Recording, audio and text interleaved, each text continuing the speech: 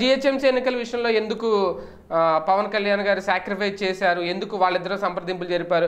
జనసేన సంబంధం లేకుండా మరి భారతీయ జనతా పార్టీ దిగిపోయి ఉంటే అయిపోయేది. జనసేన అయితే అప్పుడు ముందు చెప్పిందే ఏమన్నా మేము పెడతామని. చివరి నిమిషంలో అనౌన్స్ చేసింది. ఫస్ట్ ఏమన్నా మేము కూడా పెడతామని ఏమన్నా వెళ్ళిందా? కూర్చోలేదు కదా. సైలెంట్గా వీళ్ళ అభ్యర్థుల్ని అనౌన్స్ చేశాక అప్పుడు జనసేన కార్యకర్తలు కొంతమంది సోషల్ మీడియాలో పోస్టులు పెట్టాక ఏం బీజేపీకి ఇగోనా? దాన్ని దెబ్బ కొట్టాలి ఓడించాలి. అప్పుడు వైసీపీ వాళ్ళు ఒకవైపు జనసేన వాళ్ళు ఒకవైపు. ఇద్దరు రెండు వైపులా బీజేపీని టార్గెట్ చేసుకొచ్చారు. సరే వైసీపీ వాళ్ళని వాళ్ళు కేర్ చేయలేదు ఎందుకంటే రఘునందన్ ఆయన ఉన్నాడు కదా. రఘునందన్ని టార్గెట్ చేస్తున్నారు కాబట్టి దాన్ని లైట్ తీసుకున్నారు. జనసేన దాన్ని అట్లా చేసుకోవడం కరెక్ట్ కాదు అనుకున్నారు ఇంకోటి వీళ్ళు కాపు సామాజిక వర్గ ప్రతినిధులే కాబట్టి మనోళ్ళే మనకి జలగొట్టడం కరెక్ట్ కాదు అనుకుని పవన్ దగ్గరికి ఎవరు వెళ్ళింది కిషన్ రెడ్డిను లక్ష్మణ్. ఉమ్, వాళ్ళిద్దరిని పంపించడం. ఆయన అక్కడితో మా వాళ్ళందరూ విత్డ్రా అన్నారు. అక్కడ వాస్తవంగా అది పొత్తు అందామా పొత్తు ధర్మం అందామా మామూలుగా అయితే కనుక పొత్తు అయితే కనుక మీరు పది మాకు పదన్న ఇవ్వండి అని అడగాలి. అది కాదు కదా. బేసిక్గా వీళ్ళు ముందు అనౌన్స్ చేసింది సైలెంట్గా అనౌన్స్ చేసేసారు. తర్వాత సైలెంట్గా టోటల్ విత్డ్రాయల్ అనౌన్స్ చేశారు. అంటే సంప్రదింపులు జరపడం బట్టే కదా విత్డ్రాయల్ అదే చేసుకున్నారు అనేది అది సంప్రదింపులు అనాలా? లేదంటే కనుక రిక్వెస్ట్ అనుకోవాలో అది ఎవరిష్టం వాళ్ళది. నా దృష్టిలో అయితే అది సంప్రదింపులు అనను నేను. ఎందుకంటే సంప్రదింపులు అంటే ముందు నుంచి జరుగుతాయి. ఇదిగో మేము ఇన్ని పోటీ చేస్తాం ఇప్పుడు ఇప్పుడు జరిగింది మున్సిపల్ కార్పొరేషన్స్కి. ఎలా చేసుకున్నారు? ఇద్దరు విజయవాడ వైజాగ్ గుంటూరు అన్ని చోట్ల కూడా ఇద్దరు కూర్చున్నారు. మీకు మా మీ ముప్పై మేము పది లేదా మే మేము ముప్పై మీరు పది. ఇట్లాగే కదా? ఏ ఏ డివిజన్లో ఎవరు పోటీ చేయాలని డిసైడ్ చేసుకున్నారు. అభ్యర్థులు ఎవరిష్టం వాళ్ళదే. అంతేగాని జనసేన కన్ఫర్మ్ చేసుకుని వీళ్ళు తీసుకోవాలా? లేకపోతే బీజేపీ కన్ఫర్మేషన్ కానీ ఓటింగ్ శాతం. భారతీయ జనతా పార్టీ కంటే జనసేనకే పెరుగుతూ వస్తుంది కదా. అటువంటప్పుడు తిరుపతి స్థానం ఎందుకు వదులుకోవాల్సి వచ్చింది? ఇక్కడ విచిత్రం ఏంటంటే భారతీయ జనతా పార్టీ పాయింట్ ఎనిమిది నుంచి రెండున్నర శాతానికి వచ్చింది. జనసేన ఐదున్నర నుంచి నాలుగున్నరకు వచ్చింది. అక్కడ నాలుగు ఎనిమిది దగ్గర దగ్గరగా ఐదుకి లెక్కేసుకుని నాలుగు పాయింట్ ఆరు వచ్చింది. అంటే పెరిగినట్ట తగ్గినట్టు అది వాళ్ళు ఏమంటున్నారు? గెలిచిన చోట్ల పద్నాలుగు శాతం పదమూడు శాతం అంటున్నారు. అది కరెక్ట్ లెక్క కాదు. పోటీ చేయడానికి నీకు హక్కు ఉంది రాష్ట్రం అంతా. నువ్వు చేయలే. ఇప్పుడు నేను ఎగ్జామ్స్ రాశాను. మార్కుల్లో ఒక ఆరు సబ్జెక్టులు రాసి అది ఆరు సబ్జెక్టులు ఉంటే రెండే రాసి రెండిట్లో నాకు అరవై శాతం మార్కులు వచ్చినాయి. కాబట్టి నేను నాకు ఎక్కువ వచ్చిందంటే ఎట్ట కుదురుద్ది? నేను అన్నీ రాయాలి కదా. బీజేపీ జనసేన ఇద్దరు కలిసి పోటీ చేయకపోతే ఎవరికి తప్పది? రాష్ట్రం అంతా పోటీ చేయొద్దని ఎవరు నాపారా ఆ లెక్కన తెలుగుదేశం కొన్ని చోట్ల పోటీ చేయలే. మరి వాళ్ళు కూడా పోటీ చేసిన దాంట్లో పర్సంటేజ్ అని లెక్కేస్తారేంటి అట్లా ఉండదు కదా. టోటల్ పర్సంటేజే కౌంట్ వేస్తారు. అయితే గెలిచిన చోట్ల ఓడిన చోట్ల లెక్కలేసుకోవచ్చు. ఇప్పుడు కొన్ని చోట్ల పదకొండు శాతం వచ్చినాయి ఓట్లు కొన్ని చోట్ల పదమూడు శాతం వచ్చినాయి కార్పొరేషన్స్లో. ఇద్దరికి కలిపితే పదమూడు వచ్చినాయి లేదా ఏడు పదకొండు అట్లా వచ్చినాయి ఉన్నాయి. అవి ఆ ఏరియాల మీద పట్టు ఎక్కువ ఉన్నట్టు వీళ్ళకి. బట్ అక్కడ కూడా ఏంటి? గతంలో ఉన్న ప్రజారాజ్యం స్కోర్ రాలా. పద్దెనిమిది శాతం కదా అప్పుడు? ఇంకోటి బలవర్ధకమైనటువంటి శక్తిగా ఎదగటం అనేటువంటి పాయింట్ దగ్గర అక్కడ బ్రేకప్ అయింది. ఎందుకు అంటే ఈ డిస్ప్యూట్సే ఉమ్, అక్కడెక్కడ క్లారిటీ లేవు. ఇప్పుడు అప్పట్లో లేదంటే ఓకే. అయిపోయింది కదా ఇప్పటికి కూడా క్లారిటీ లేకపోతే ఏడాది తర్వాత కూడా. అక్కడే సమస్య వస్తుంది. అంటే గౌరవం లేని చోట వాళ్ళతో కలిసి ప్రయాణం చేయలేము అంటే ఒకప్పుడు ఇమీడియట్గా పొత్తు పెట్టుకున్న వెంటనే మోడీ గారి అపాయింట్మెంట్ దొరకలేదు అమిత్ షా గారి అపాయింట్మెంట్ దొరకలేదు. అప్పుడే గౌరవం లేదని పవన్ కళ్యాణ్ గారు అప్పటి నుంచి గుర్తించట్లేదా? లేదంటే ఇప్పుడు మొన్న తెలంగాణలో జరిగిన ఇష్యూ దానివల్లే గౌరవం లేక లేకుండా పోయిందా దక్కకుండా పోయిందా? ఇప్పుడు గౌరవం ఏంటి అనే దాని మీద డిపెండ్ అయి ఉంటుంది.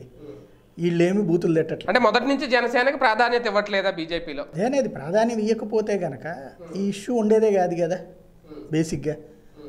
ఇక్కడ ఎక్స్పెక్టేషన్ ఓవర్ అవుతుంది. ఇప్పుడు జేడీయూ ఉంది. పద్దాక వెళ్ళి నరేంద్ర మోడీతో కూర్చుంటాడు ఆయన. ఇప్పుడు అక్కడ ప్రధాన ముఖ్యమంత్రిగా చేస్తున్నాడు ఆయన. ప్రధానమంత్రిగా పోటీ పడడానికి ప్రయత్నించిన ఆయనే కదా. ఆయన ఏమన్నా వెళ్ళి పద్దాక వెళ్ళి కూర్చుంటున్నాడా? లేదు కదా. లేదు ఇక్కడ మన మిగతా చోట్ల అస్సాం ముఖ్యమంత్రి గోవా ముఖ్యమంత్రి ఇట్లాంటివి ఉన్నాయి. అక్కడ సంకీర్ణ పక్షాలు. పద్దాక వెళ్ళి ఏమన్నా అక్కడ కూర్చుని మాట్లాడుతున్నారా ఢిల్లీలో? అవి ఏమన్నా పొత్తులు స్థానిక ఎన్నికల గురించి ఢిల్లీలో అమిత్ షాలతో కూర్చుని మాట్లాడుతున్నారు వాళ్ళు.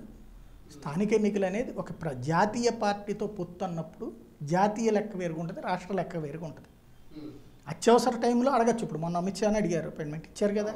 విశాఖ స్టీల్ ప్లాంట్ ఆ టైంలో ఇబ్బందికరమైన పరిస్థితి అయినా కూడా ఇచ్చారు కదా. అది గౌరవించడం. అంతేగాని స్థానిక సంస్థల పొత్తులకి అమిత్ షాలును నడ్డాలేంది? బేసిక్గా. రాష్ట్ర నాయకులకు నువ్వు వాల్యూ నువ్వు ఫస్ట్ నువ్వు వాల్యూ ఇవ్వాల్సింది రాష్ట్ర నాయకులకి. అంటే నా స్థాయి రాష్ట్రమా అంటే? నీ పార్టీ ఎక్కడుందో అక్కడ కదా లెక్క. జాతీయ స్థాయి అయితే కాదు కదా పార్టీ. ఇంకోటి రెండు రాష్ట్రాలు ఇప్పుడు తెలంగాణలో కూడా ట్రై చేస్తున్నాయి. ఇంతకుముందు చేయలేదా తెలంగాణలో? విడిగా పోటీ చేయలేదా? ఏమైంది? ఎవరి లెక్కలు ఆడకుంటాయి. ఇంకోటి తెలంగాణలో తెలుగుదేశం పార్టీతో పెట్టుకోకూడదని వాళ్ళు డిసైడ్ చేసిందే ఆంధ్ర పార్టీలతో వద్దని. ఇప్పుడు జనసేనతో వెళ్ళడానికి కూడా వాళ్ళు సిద్ధంగా లేరు. బేసిక్గా వాళ్ళని బలవంతంగా నువ్వు నా చేత రెండు చోట్ల అనేది ఎందుకు? అది తెలుగుదేశం ఇన్సిస్ట్ చేస్తోందన్న ఫీలింగ్ వెళ్తోంది అక్కడ.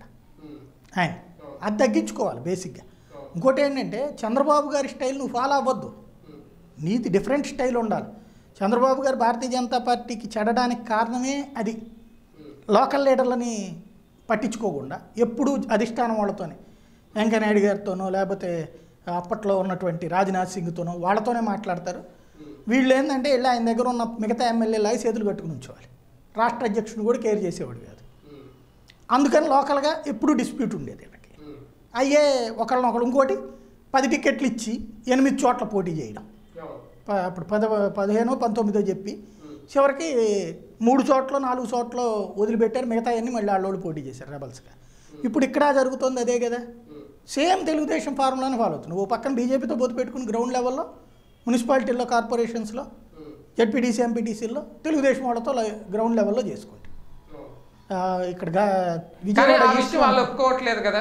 ఇప్పుడు తెలుగుదేశం పార్టీ ఇప్పుడు మన పోతిన మహేష్ గారి వ్యాఖ్యలు చూస్తే తెలుగుదేశం పార్టీని ఎక్కడా నిందించట్లేదు. ఆయన ఎక్కువ ప్రసంగం అంతా భారతీయ జనతా పార్టీని తిట్టిందే భారతీయ జనతా పార్టీ వల్ల మేము దక్కించుకున్న స్థానాలు కూడా కోల్పోయాను ఇంత బహిరంగంగా తిడుతున్నప్పుడు రేపు ఒకవేళ అవసరం ఉంటే ఏడు నియోజకవర్గాల్లో ప్రచారం చేయాల్సిన అవసరం ఉంటుంది తిరుపతిలో. పవన్ కళ్యాణ్ గారితో పొత్తులో ఉన్నప్పుడు ఒకవేళ తెగదంపులు చేసుకుంటే ఓకే ఈ లోపల. పొత్తులో ఉన్నప్పుడు ఖచ్చితంగా ఈ నెల్లి ప్రచారం చేయాల్సిన అవసరం ఉండదా? ఇదే పరిస్థితి ఉంటే ఎలా అది ఎలా సాధ్యం అవుతుంది అసలు వాస్తవంగా ఇప్పుడు వాళ్ళిద్దరి మధ్యన ఓ రకంగా చెప్పాలంటే విడాకులు కోరుకున్నటువంటి భార్యాభర్తల సంబంధం లాగా ఉంది. కానీ అధికారికంగా కోరుకోలేదు అఫీషియల్గా. ఉమ్, స- సహజీవనం చేస్తున్నారు అంతే. ఎందుకంటే ఇక్కడ సంసారం ఇంకో పక్కన నడుస్తులా? అదే. తెలుగుదేశం అలాగే అది కదా. ఈస్ట్ది నిన్న ఈనాడులోనూ జ్యోతిలోనూ చదివా నేను. ఉమ్, తెలుగుదేశం పార్టీ అంటే వాళ్ళ అధికారిక అనధికారిక పత్రికలు కదా అవి. అదే. అందులో రాసింది. తెలుగుదేశం ఇక్కడ ఇన్ని సీట్లని ఇది ఒక సీటుని జనసేనకు వదిలేసింది. రెండు సీట్లను సిపిఐకి వదిలేసింది అని. వదిలేయడం అంటే ఏంటి అర్థం? అసలు ఎందుకు జనసేనకి ఎందుకు వదిలేయాలి బీజేపీ. జనసేనకి వీళ్ళు వదిలేశారు అంటే ఏంటి అర్థం అక్కడ?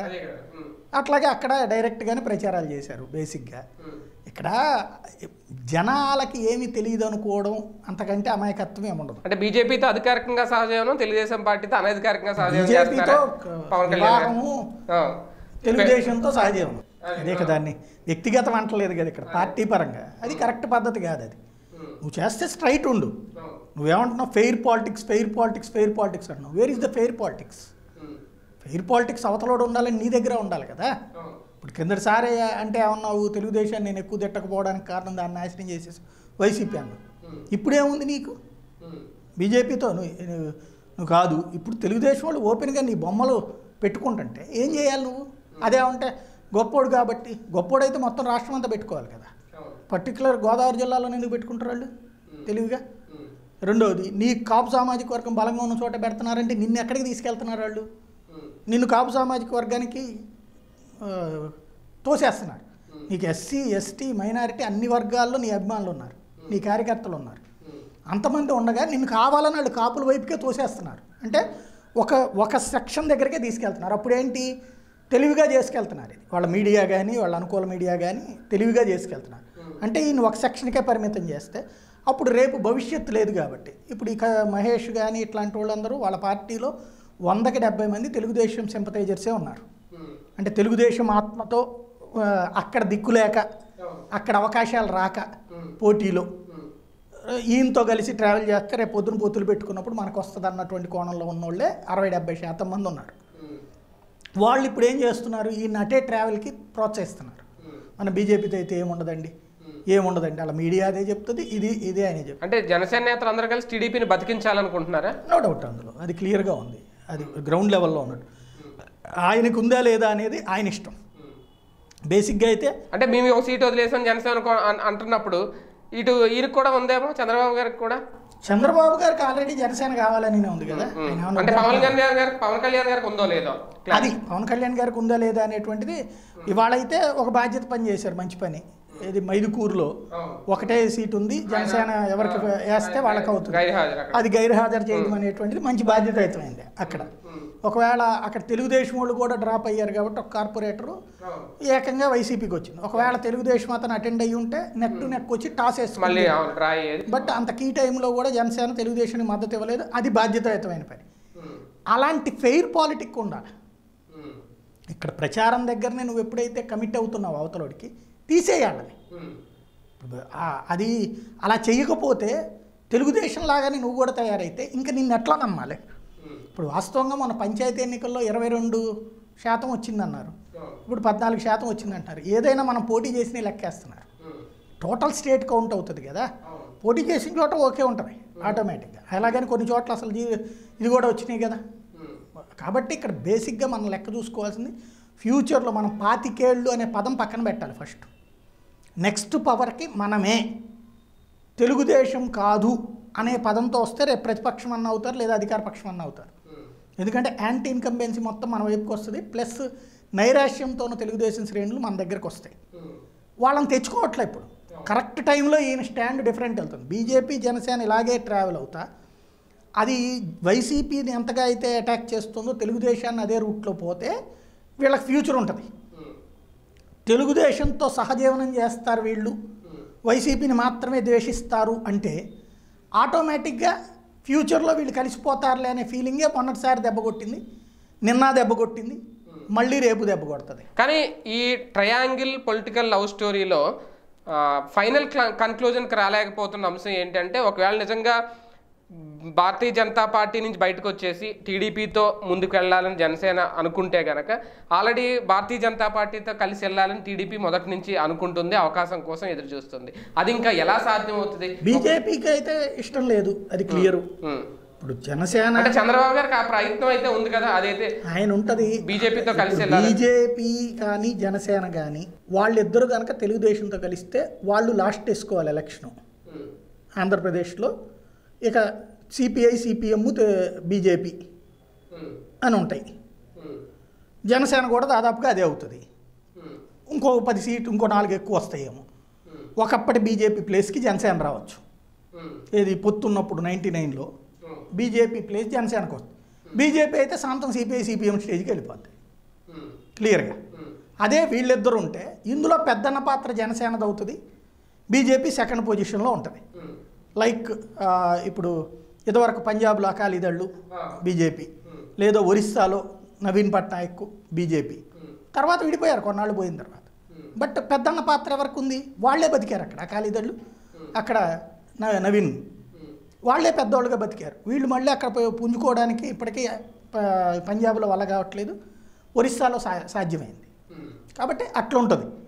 పెద్దన్న పాత్ర అప్పుడు వస్తుంది తెలుగుదేశంతో కలిస్తే తమ్ముడి పాత్ర అవుతుంది. తెలుగుదేశంతో కలిస్తే పెద్దన పాత్ర ఎవరు? పెద్దన్న పాత్ర ఎట్ట అవుతుంది? అవును.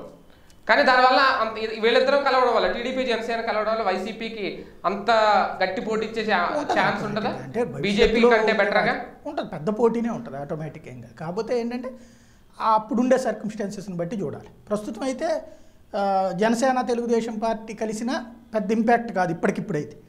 బట్ ఫ్యూచర్లో చూసుకున్నప్పుడు యాంటీ ఇన్కంబెన్సీ పెరిగితే కనుక అప్పుడు వాళ్ళిద్దరు కలిస్తే దీనికి దెబ్బే.